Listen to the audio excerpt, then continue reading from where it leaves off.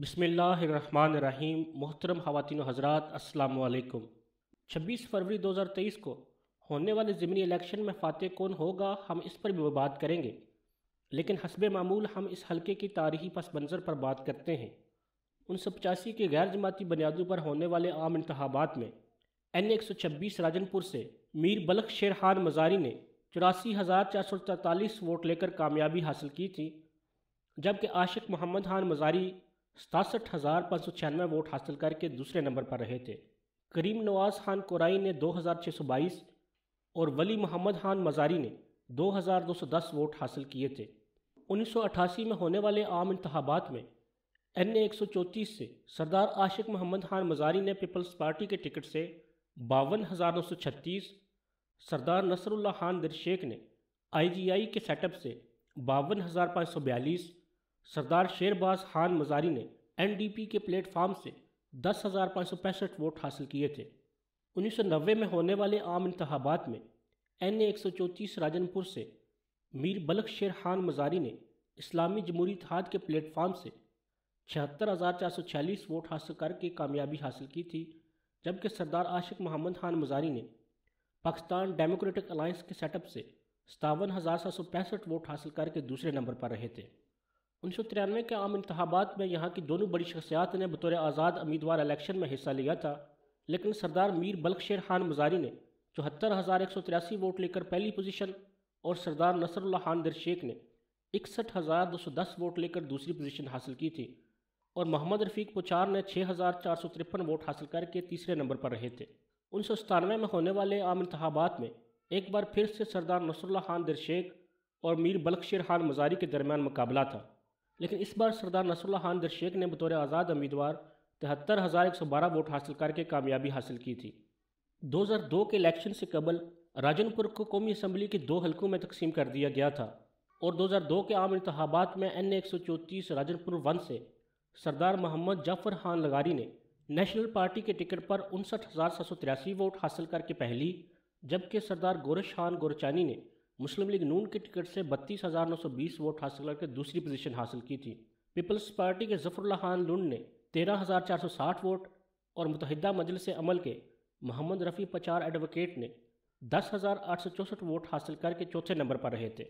दो हज़ार आठ के आम इंतबात में एन ए एक सौ चौहत्तर राजनपुर वन से सरदार मोहम्मद जाफ़र खान लगारी ने मुस्लिम लीग काफ के टिकट से पचास हज़ार चार सौ चालीस वोट लेकर कामयाबी हासिल की थी। और सरदार नसरुल्ला खान दरशेख ने बतौर आज़ाद उम्मीदवार चालीस हज़ार उनचास वोट हासिल करके दूसरी। पीपल्स पार्टी के ख्वाजा कलीमुद्दीन ने अड़तीस हज़ार चार सौ चौरासी वोट और आज़ाद उम्मीदवार सरदार जुल्फ़कार खान दरशेख ने बारह सौ चौदह वोट।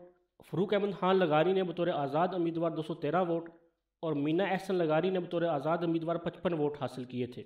दो हज़ार तेरह के इंतबात से कबल सरदार मोहम्मद जाफ़र खान लगारी मुस्लिम लीग काफ को हैराबाद कहकर मुस्लिम लीग नून में शामिल हो चुके थे और एक लाख सात सौ चौरानवे वोट हासिल करके कामयाबी हासिल की थी, जबकि आज़ाद उम्मीदवार सरदार नसरुल्ला खान दरशेख ने इकसठ हज़ार दो सौ चार वोट हासिल करके दूसरे नंबर पर पीपल्स पार्टी के ख्वाजा कलीमुद्दीन कोरीजा ने पच्चीस हज़ार दो सौ बानवे वोट, पाकिस्तान तहरीक इंसाफ के अब्दुल रज़ाक राजा ने छः हज़ार आठ सौ पच्चीस और जमात इस्लामी के ख्वाजा मोहसन रियाज ने छः हज़ार तीन सौ इकहत्तर वोट हासिल करके आखिरी पोजीशन पर रहे थे। 2018 के आम इंतबात से कबल सरदार मोहम्मद जाफ़र खान लगारी पाकिस्तान तहरीक इंसाफ में शामिल हो चुके थे और 2018 के आम इंतबात में सरदार मोहम्मद जाफ़र खान लगारी ने इक्यासी हज़ार तीन सौ अठावन वोट हासिल करके मसलसल चौथी बार रुकने कौमी असम्बली मुंतब हुए थे, जबकि उनके मुकाबले में सरदार शेर अली खान ने छियालीस हज़ार सात सौ अड़तालीस और पीपल्स पार्टी की शाजिया आबद ने सताईस हज़ार एक सौ तिरासी वोट हासिल करके तीसरी जबकि सरदार मोहम्मद जाफ़र खान लगारी की वफ़ात के बाद इस हलके में 26 फरवरी 2023 को ज़मनी इलेक्शन होने जा रहे हैं। ज़मनी इलेक्शन 2023 में पाकिस्तान तहरीक इंसाफ ने मोहसन खान लगारी पाकिस्तान मुस्लिम लीग नून ने सरदार अमार खान लगारी पाकिस्तान पीपल्स पार्टी ने सरदार अख्तर हसैन गोरचैनी और तहरीक लब्बैक पाकिस्तान ने महमूद अहमद को उम्मीदवार नामजद किया है। मोहसन खान लगारी ने 2002 में अपने सियासी कैरियर का आगाज़ किया था। तीन बार रुकने पंजाब असम्बली रह चुके हैं।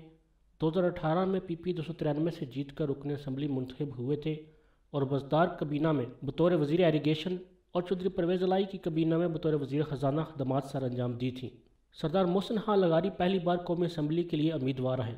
पंजाब असम्बली में सुबह साउथ पंजाब की तोाना आवाज़ थी और नए सूबे के लिए करारदाद भी इन्होंने ही जमा करवाई थी।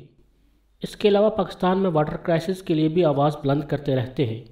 ज़मनी इलेक्शन 2023 में मोहसिन लगारी के साथ साथ सबक M N A Amina Ehsan लगारी साहिबा भी कंपेन कर रही हैं। मोहसिन खान लगारी की हल्के में पोजीशन बहुत मज़बूत है।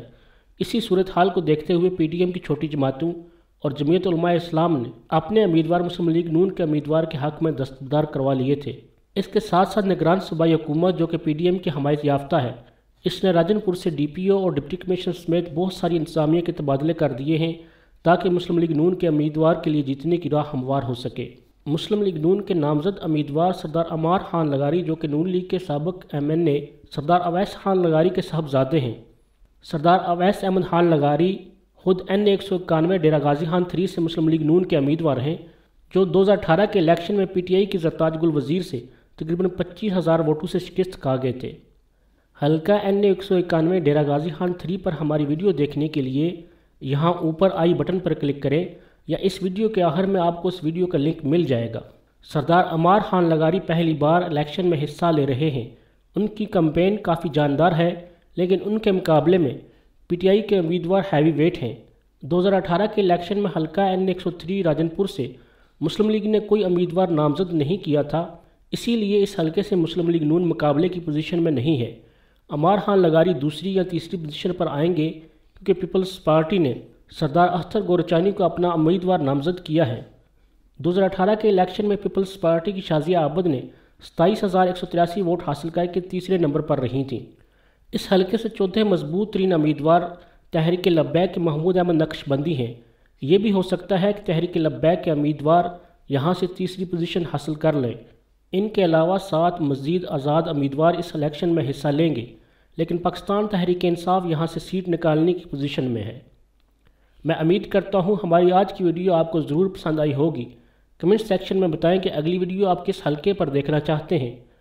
हमारे आने वाली वीडियोस का हमारी तरफ़ से नोटिफिकेशन हासिल करने के लिए हमारे चैनल सोशल मीडिया लाइव को सब्सक्राइब करके बेल आइकन को प्रेस कर दें। मिलते हैं अगली वीडियो के साथ। फ़ी अमान